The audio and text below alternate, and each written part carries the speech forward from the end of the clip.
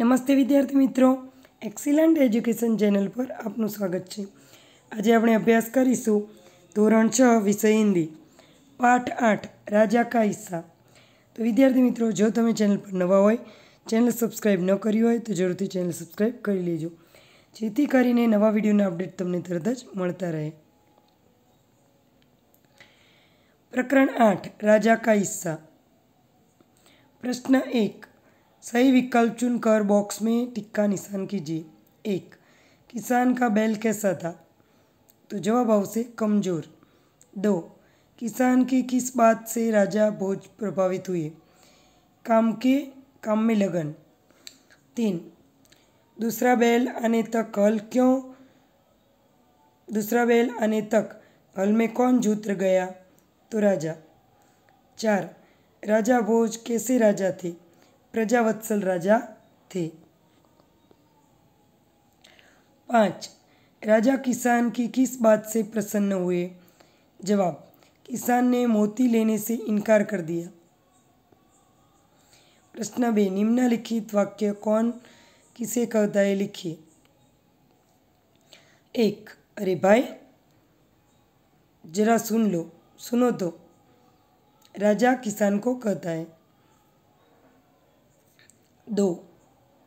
जो कहना है, मेरे साथ चलते चलते कहो, मेरा काम क्यों रोकते हो? किसान राजा को कहता है, तीन तो फिर तुम बताओ, मैं क्या करूँ? किसान राजा को कहता है, चार, अगर कभी कोई दिक्कत हो तो मेरे पास आना। राजा किसान को कहता है, पाँच, ये मोती तुम्हारे खेत में उंगे उंगे हैं, इन पर तुम्हारा हक है। राजा किसान को कहता है। प्रश्नदान अ। निम्नलिखित प्रश्नों के उत्तर एक वाक्य में लिखिए। एक, राजा भोज ने अपना रथ क्यों रोका? जवाब, किसान हल जोत रहा था, मगर उसके हल में एक ही बैल है। दूसरे बैल के स्थान पर उसकी स्त्री हल खींच रही है। यह देख राजा भोज के, भोज ने अपना रथ रोक दिया। दो, आपके गाँव के आसपास कौन सी फ़सलें पैदा होती है? जवाब, मेरे गाँव के आसपास कपास, मूंगफली, बाजरा, ज्वार, लहसुन, प्याज, गेहूँ, जौ, चना और सरसों पैदा होते हैं। तीन, किसान हमें किस प्रकार उपयोगी है? जवाब, खेती करते के किसान हर तरह से अनाज सब्ज़ियाँ पैदा करते हैं। गन्ने की फ़सल भी उगाते हैं। उनके द्वारा उत्पन्न अनाज, सब्ज़ियाँ आदि चीज़ बाज़ार में बिकने के लिए आती हैं। चार, किसान के हल में एक ही बैल क्यों था? क्योंकि एक बैल मर गया था और बैल खरीदने के लिए किसान के पास पैसे नहीं थे। पाँच, राजा भोज ने भ्रमण करते हुए क्या देखा? जवाब, राजा भोज ने भ्रमण करते हुए देखा कि एक खेत में एक किसान हल चला रहा है, मगर उसके हल में एक ही बैल है। दूसरे बैल के स्थान पर उसकी पत्नी हल खींच रही है। छ, किसान सारे मोती लेकर कहाँ पहुँचा? जवाब, किसान सारे मोती लेकर राजा भोज के पास पहुँचा। प्रश्न त्रण ब. निम्नलिखित प्रश्नों के उत्तर एक वाक्य में लिखिए। एक, किसान खेती के लिए किन किन साधनों का उपयोग करते हैं? जवाब, किसान खेती के लिए हल, बैल, ट्रैक्टर, कुदाल पावड़ा हसिया आदि साधनों का उपयोग करते हैं। दो, किसान शर्मिंदा क्यों हो गया? जवाब, किसान को पता नहीं था कि अपने दो बैल लेकर जिस जिस, जिसने उसकी सहायता की है, वह और कोई नहीं, स्वयं राजा भोज है। इसलिए जब महाराज ने किसान को अपना परिचय दिया तब तो किसान बहुत ही शर्मिंदा हो गया। तीन, राजा भोज ने किसान के पास जाकर क्या कहा? जवाब, राजा भोज ने किसान के पास जाकर कहा कि, भले आदमी, तुम यह क्या अत्याचार कर रहे हो? भला कहीं स्त्री को भी हल में जोता जाता है क्या? चार, रानी ने पूरी बात सुनकर क्या कहा? जवाब, रानी ने पूरी बात सुनकर कहा, तुम्हारा बैल तो कमज़ोर होगा, वह हमारे बैल का साथ नहीं दे सकेगा, इसलिए तुम दोनों ही बैल ले जाओ। पाँच किसान ने मोती लेकर लेने से इनकार क्यों किया? जवाब किसान ने मोती लेने से इनकार किया, क्योंकि उसके अनुसार वह मोती राजा के परिश्रम से उत्पन्न हुए थे, इसलिए राजा ही उनका सही मालिक था। छ राजा हल में क्यों जूते जवाब, राजा ने उस किसान की स्त्री को अपने बैल लेने लेने भेजा और उस स्त्री की जगह खुद हल में जूत गए। प्रश्न चार सोचकर निम्नलिखित प्रश्नों के उत्तर लिखिए एक, अगर आप राजा हो तो किसान की किस तरह सहायता करते? जवाब, अगर मैं राजा होता तो मैं भी राजा भोज की तरह ही किसान की मदद करता और अपने बैल किसान को दे देता और और भी कुछ आवश्यकता होती तो मैं किसान की आवश्यक मदद ज़रूर करता। दो आप बैलगाड़ी में बैठकर घूमने चाह घूमना चाहोगी? यदि हाँ तो क्यों? और नहीं तो क्यों? तो मेरा जवाब है हाँ। मैं बैलगाड़ी में ले ले, घूम बैठ कर घूमना, घूमने जाती हूँ। या तो चाहूँगी, क्योंकि बैलगाड़ी में पेट्रोल, डीजल नहीं लगता। मोटर गाड़ी के मुकाबले बैलगाड़ी में दुर्घटना नहीं होती। बैलगाड़ी की यात्रा अधिक मज़ेदार, सस्ती और सुरक्षित होती है। अतः मैं बैलगाड़ी में घूमना पसंद करूँगा। या तो चाहूँगी। तीन किसान की जगह अगर आप होते तो बैल की जगह औरत को हल में जोतते क्यों? जवाब, किसान की जगह अगर मैं होता तो बैल की जगह औरत को हल में नहीं जोतता, क्योंकि ऐसा करने से वह औरत थक जा, थक सकती है, वह औरत बीमार भी पड़ सकती है, और वह औरत और कोई भी घर का काम या दूसरा काम नहीं कर सकेगी और थक जाएगी और बीमार पड़ेगी। इसलिए मैं उसको खेत के, खेत में नहीं जोतता। प्रश्न पाँच, निम्नलिखित शब्दों के बाद आने वाले शब्द शब्दकोश में से ढूंढकर उनके अर्थ लिखिए। एक, परिश्रमी, परिश्रम तो परिश्रमी, यानी कि मेहनत। दो, कमज़ोर तो शब्द होगा कमज़ोरी। अर्थ होगा निर्बलता। तीन, राजकोष। शब्द बनेगा राजकोषीय। अर्थ होगा खजाने से संबंधित। चार, उम्दा। तो उमदाना, उमंग में आना। पाँच, अत्याचार।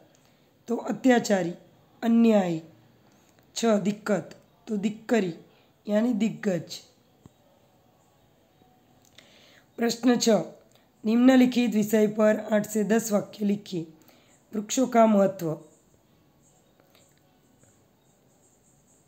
તો વિદ્યાર્થી મિત્રો આ મોસ્ટ એમપી પ્રશ્ન છે પરીક્ષામાં આ પાંચ માર્કમાં ऐसे પૂછાય છે તમે પાકું કરી લેજો पेड़ धरती धरती के सभी जीव सृष्टि के लिए बहुत ज़्यादा महत्वपूर्ण है पेड़ों की जग वजह से हमें भोजन और ऑक्सीजन मिलता है पेड़ हमें कई रोग के इलाज से औषधि प्रदान करते हैं पेड़ पृथ्वी का वातावरण, यानी कि पर्यावरण, हमेशा शुद्ध रखता है।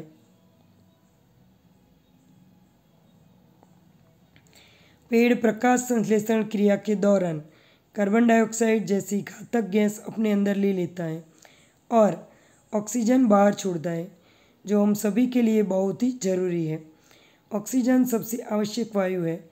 ऑक्सीजन की मदद से जीव सृष्टि पर मानव जीवित, सुरक्षित और रह सकते हैं। और जीवित रह सकते हैं। पशु, पक्षी, कीड़े और अन्य और कई अन्य जीवित प्राणी अपने अस्तित्व और रहने के लिए पेड़ों पर आधारित हैं। पेड़ खाद्य श्रृंखला के निचले भाग में मौजूद हैं, क्योंकि वे प्रकाश संश्लेषण की प्रक्रिया से, के माध्यम से अपना भोजन स्वयं बना सकते हैं। प्रश्न सात नीचे दिए गए चित्र के बारे में पाँच वाक्य लिखिए। इस चित्र में एक समृद्ध गाँव का दृश्य है। गाँव में कुछ पक्के मकान और कुछ साधारण घर है। गाँव में एक मंदिर है। मंदिर के ऊपर ध्वजा है। गाँव के बाहर एक पक्का कुआँ है। कुएँ से कुछ देर एक बैल खड़ा है। गाँव में जाने का रास्ता साफ़ सुथरा है। एक लड़का और लड़की गाँव में जा रहे हैं। चित्र में एक और गाँव से लगे हुए खेत हैं। एक खेत में तैयार फ़सल दिखाई दे रही है। पौधों पर बालियाँ हैं। खेत में बैठे हुए व्यक्ति के साथ में, हाथ में हंसियाँ हैं। खेत में धान के पौधे हैं। खेतों के आसपास पेड़ लगे हुए हैं। इस प्रकार चित्र में दिखाया गया गाँव सचमुच ही बहुत ही सुंदर है। प्रश्न आठ, संयुक्ताक्षर का उपयोग करके दो दो शब्द लिखिए। उद्देश्य तो मुद्दा मुद्दत पद्म तो पद्म पाणी पद्मिनी। ब्राह्मण तो ब्रह्मांड, ब्रह्म। चिन्ह तो वी वही चिन्ह। द्वार तो दिगु, द्वारा। शुद्ध तो बुद्ध, सिद्ध। तो ये जो है ये भी मोस्ट टाइम भी है क्वेश्चन परीक्षा में पूछा जा, पूछे जाएँगे। नौ, नीचे दिए गए मुहावरों का अर्थ देखकर उसका वाक्य में प्रयोग कीजिए। एक, आँखों का तारा होना, बहुत प्रिय होना। यह हर एक बार परीक्षा में पूछा जाता है। आप अच्छी तरह से तैयार कर लीजिएगा। मेरा बेटा मेरी आँखों का तारा है। दो जीवन दान देना, यानी जान बख्श देना। राजा ने उसकी उसके, उसको जीवन दान दिया।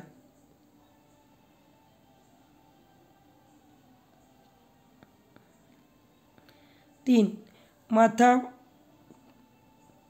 थनकना, सिर में हल्की धमक। उसका माथा थनक रहा है।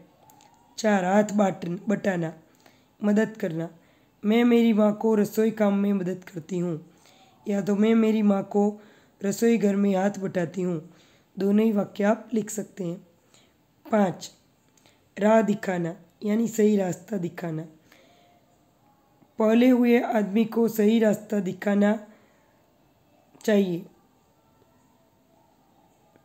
प्रश्न दस, निम्नलिखित परिच्छेद पढ़कर उसमें दिए गए विशेष, विशेषण वाले शब्द पहचान कर लिखिए। तो विशेषण दर्शा, दर्शाने वाले शब्द काले काले रंग बिरंगी छोटे छोटे तीन, सुंदर, हरी, बहुत और सफ़ेद। ऊपर दिए गए वाक्यों में से किन्हीं चार शब्दों का वाक्य में प्रयोग कीजिए। तो ये भी मोस्ट टाइम पे है, आप कर लेना। एक छोटे छोटे छोटे बच्चों के आज छोटे छोटे हैं।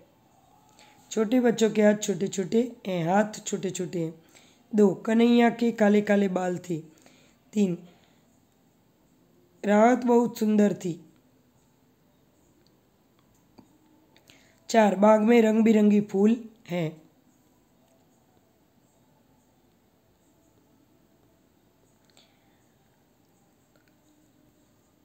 તો વિદ્યાર્થી મિત્રો આજનો અભ્યાસ પૂર્ણ થાય છે તમને વિડીયો પસંદ આવે વિડીયોને લાઇક શેર સબસ્ક્રાઈબ જરૂરથી કરજો તમારા બીજા મિત્રોને પણ શેર કરજો કોમેન્ટ બોક્સમાં કોમેન્ટ જરૂરથી લખજો. તમને વીડિયો કેવો લાગ્યો? Thank you